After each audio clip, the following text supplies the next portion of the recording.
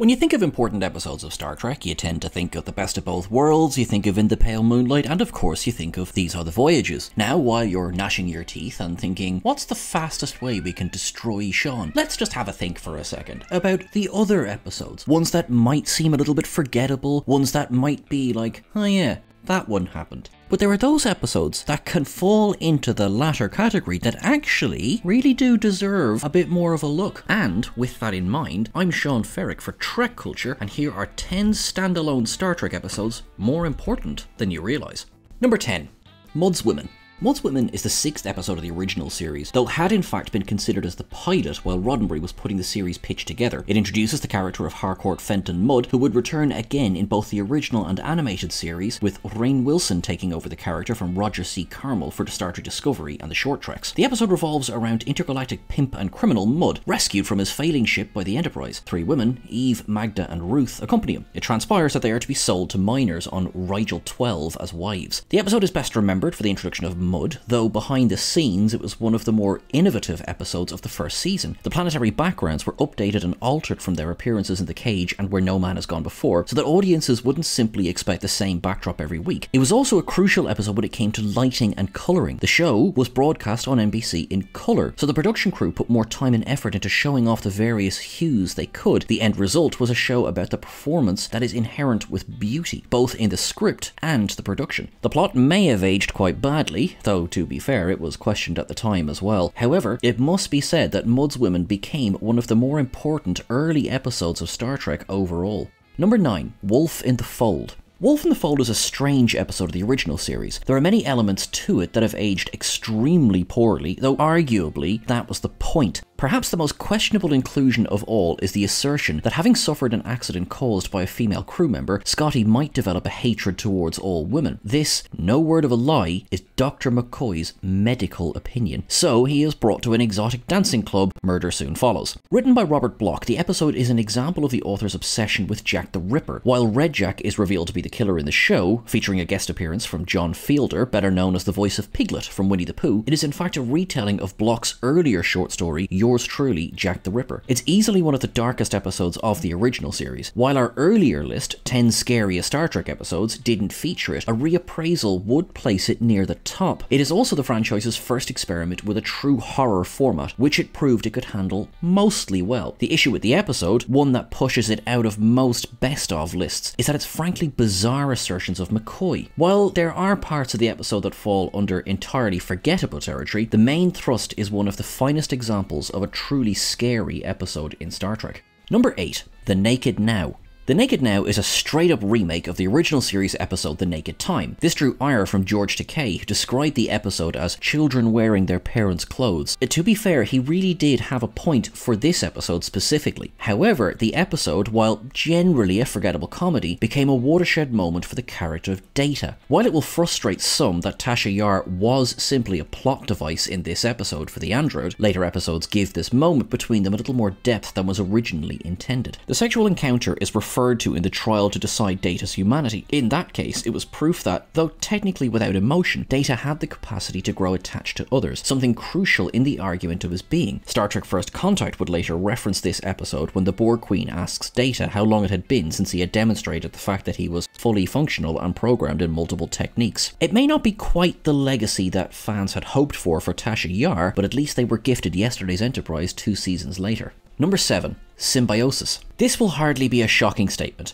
Symbiosis is a bad episode of Star Trek. While there are bits to enjoy, they're thin on the ground. So why is this episode important? That's because the cast. First of all, it saw the reunion of two actors who had appeared in Star Trek II The Wrath of Khan, though Merritt Buttrick and Judson Scott had not shared any scenes in that film. Scott had played Joachim, Khan's right-hand man. Buttrick, of course, played David Marcus. This would sadly be the last time he would appear in Star Trek, bar his image being used in the undiscovered country, as Buttrick would soon pass away from AIDS-related complications. The episode also contains the final filmed scenes by Denise Crosby as a regular. Skin of Evil had been recorded before this episode, though it would air afterward. Look closely. As Picard and Crusher are leaving the cargo bay for the last time, Crosby waves energetically in the background. This, in her words, was a wave of goodbye to the fans. This led to a rather sharp exchange on Twitter between Rick Berman and Denise Crosby. Berman once tweeted the image of a com badge that he had claimed was given to him by Crosby on her last day of filming Skin of Evil. She quickly shot back that this couldn't be true, not simply because Symbiosis was her last episode, but also because, she alleged, Berman had walked to her,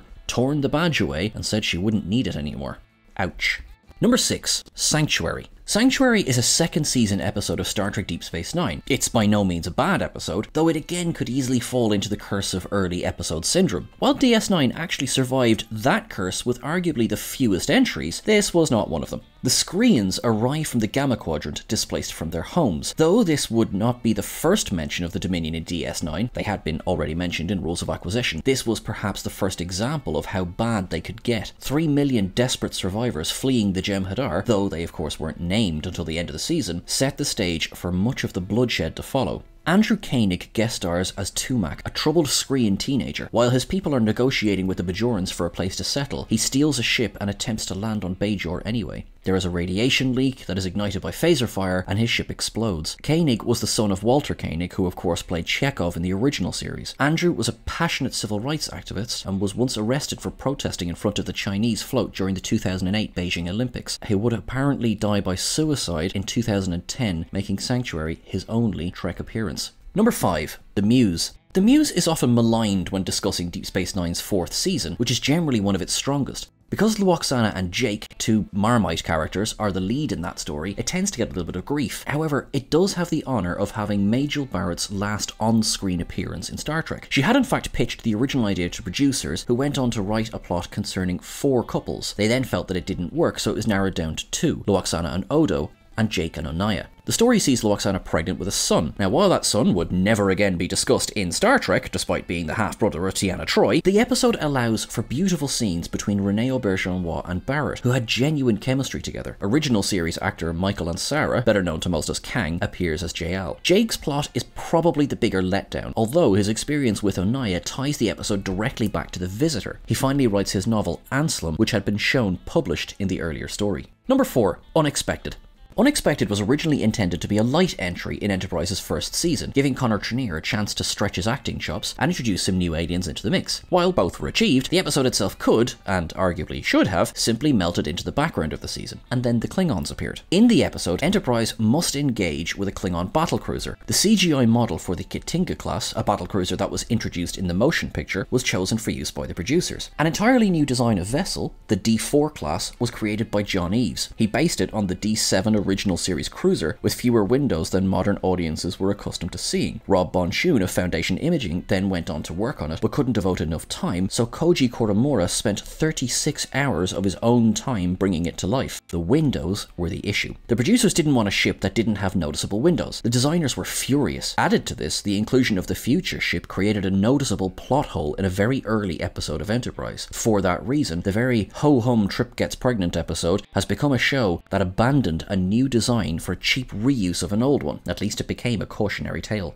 Number 3. Damage. Damage is the episode that follows Azati Prime, one of the most action-packed entries in Enterprise's third season. While the story itself isn't a bad one, it suffers a little from its placement in the season. This leads, despite some drastic actions by Archer and a strong guest turn from Casey Biggs, to an episode that pales when compared to the rest of season 3. There it could have remained until Star Trek Strange New Worlds came along. The alien race, the Illyrians, are introduced in Damage. In Strange New Worlds, the episode Ghosts of Illyria reveals that Una Chin Riley is, and has always been, Illyrian. While the two depictions differ somewhat, it is explained in Strange New Worlds that the Illyrians began to experiment with augmentation. This would lead to a ban on joining Starfleet, something that Una risks by revealing her status to Captain Pike. The remainder of this earlier episode gives a little more weight to this first appearance. It also suggests that, despite Archer's actions in stealing their power coils and abandoning them in the expanse, relations may one day thaw between the two races again, until of course Una is arrested in the final episode of Strange New Worlds' first season. Number 2. Nothing Human. Nothing Human is a fifth season entry for Star Trek Voyager. The MacGuffin of the piece sees an alien latch itself to Torres, feeding from her to stay alive. The only way to carve it free is to use the skills and knowledge of Krell Moset, a Cardassian physician in the ship's databanks. The problem is that Moset is Star Trek's answer to Joseph Mengele. The episode delivers a fine ethical debate on whether the ends justify the means, but it's actually something far more than that. It's the final writing credit for Jeri Taylor, who had been the showrunner on Voyager for the first four years. Taylor joined Star Trek during the Next Generation and would go on to co-create Voyager with Michael Piller and Rick Berman. Under her tenure, the female characters began to come out of the background a lot more. One such example is giving Crusher command of the Enterprise in the episode Descent. While she would remain a creative consultant on Voyager for the remainder of its run, this was effectively her swan song. Her contributions to Star Trek would pave the way for future female showrunners in the franchise, such as Heather Kadin and Michelle Paradise. Number 1. Meridian. Meridian is a third season entry for Deep Space Nine and is, in a word, dull. It's not that it's particularly badly written, it just simply doesn't have an interesting A-plot. The Defiant discovers a planet that shifts into another dimension for 50 years, emerging long enough to let Dax fall in love with one of its inhabitants. She chooses to go with them, it doesn't work, not the point of this entry. It's the episode that gives the great gift of Jeffrey Combs to Star Trek. This was his first appearance, long before donning the lobes of Brunt or the snark of Weyoun. Here, he appears as Tiron, a merchant looking for a very specific holosuite program from Quark. Combs' contribution to Star Trek is hard to truly sum up. He was one of the best villains in Weyoun, one of the greatest love to hate characters in Brunt. His turn as Shran gave him a somewhat swashbuckling hero type, whereas his portrayal of an evil AI in Lower Decks is just perfect. He's one of the few actors to appear as many times as he has, with as many different characters as he has. The fandom waits with bated breath for his return to live action, and to think it was this forgettable little episode that gave us one of the greatest gifts of all. And that's everything for our list today, folks. Now, while I have you, we are aiming to hit 250,000 subscribers by Christmas of this year. So if you could help us out, you hit that like